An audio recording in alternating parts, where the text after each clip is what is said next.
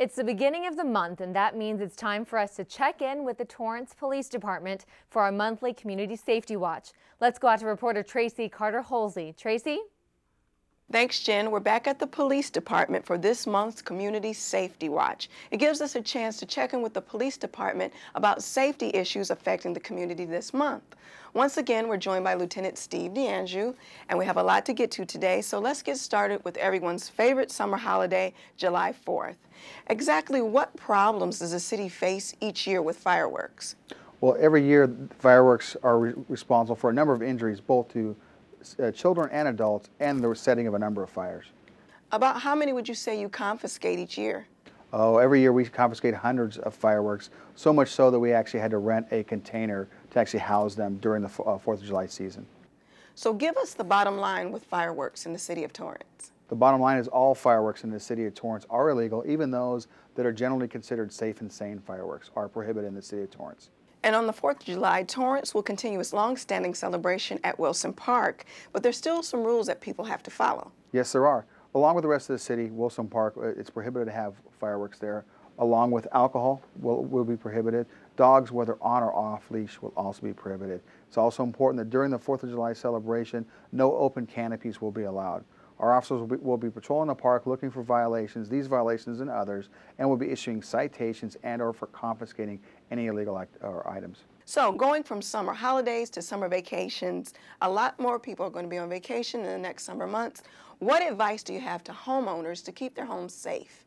Well, it's real important that they make their homes look, look lived in when they're gone. You know, stop your newspapers, stop your mail delivery, let your let trusted neighbor, friend, or relative know that you're going to be gone so they can come by and check your home while you're gone and let them know when you're going to come back. And the city offers a pretty important service for their safety and security. Yes, we do. The Torrance Police Department offers a, a no-charge home security inspection. Uh, any citizen of the city of Torrance can have one of our officers come out, do a full head-to-toe security inspection, looking at doors, windows, the way that their landscaping is, give them some pointers to make their houses safer and more resistant to, to crime. So before residents go on vacation, they should also contact the police department. Yes, they can actually go online and they can fill out a vacation security check, let us know when they're going to be leaving their homes, when they're coming back, and any particulars we may need to know, like if anybody was authorized to be inside the house, while the, the citizens are away on vacation, our officers will periodically check their home to make sure it's safe. So every resident should take advantage of this free service. If they're interested, how do they get in contact with you? Well, they can get a hold of us on our website at police.torranceca.gov or they can email us directly at communityaffairs at torranceca.gov. So great advice. Let's move on to a question from a viewer.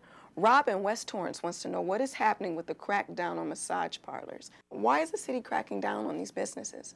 Well, the City of Torrance enacted a moratorium against licensing of business establishments involving massage parlors uh, or acupuncture or acupressure. That moratorium was enacted back in April of this year. Basically, it's saying that we are not going to issue any more business license to massage parlors or acupuncture, acupressure locations. So why a moratorium? Why are you taking such dramatic action? Well, the city started realizing a large influx of these types of businesses in the city over the last couple of years, and the number of complaints from citizens regarding illegal activity at those locations also rose dramatically. So this was in direct response to that. But what about legitimate business owners who want to open in Torrance? Well, unfortunately, the moratorium covers all business, all businesses related to massage parlors or acupuncture, acupressure, but it doesn't affect the businesses that are already here. So those legitimate massage parlors already in the city of Torrance are not affected by this. Is it permanent? Currently, the moratorium is set to expire in September of 2009. At that point, the City Council will give us direction on whether or not they're going to extend the moratorium or rescind it at that point.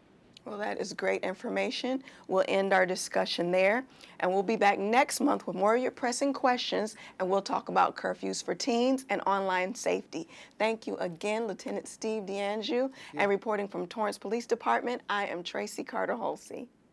Thanks, Tracy. And if you have questions about safety, crime trends, or how the police department works, we can get you those answers. Send them to this week at torranceca.gov or call us here at 310-618-5762 and leave us your name and what area of Torrance you're from in addition to your question.